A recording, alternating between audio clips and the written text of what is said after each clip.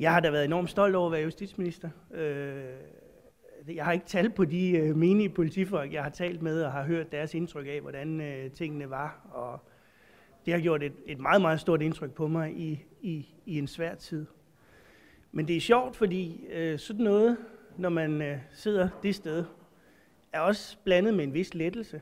Altså, det har været et enormt øh, tryk, som jo har været stedkommet både af det politiske, hvor det altid har været for lidt eller for meget, som statsministeren sådan set har sagt det, og, øh, og så samtidig altså øh, den situation, Danmark er i. Øh, så på den måde... Øh, og ja, så samtidig skal overvære, jeg finder jo altid på navne til det, jeg skal. Nu skal jeg være fremtidsminister. Altså, det synes jeg, der er øh, mange gode ting i, øh, som jeg glæder mig til at, at komme tæt på. Det er jo spørgsmål, som vi alle sammen stiller os.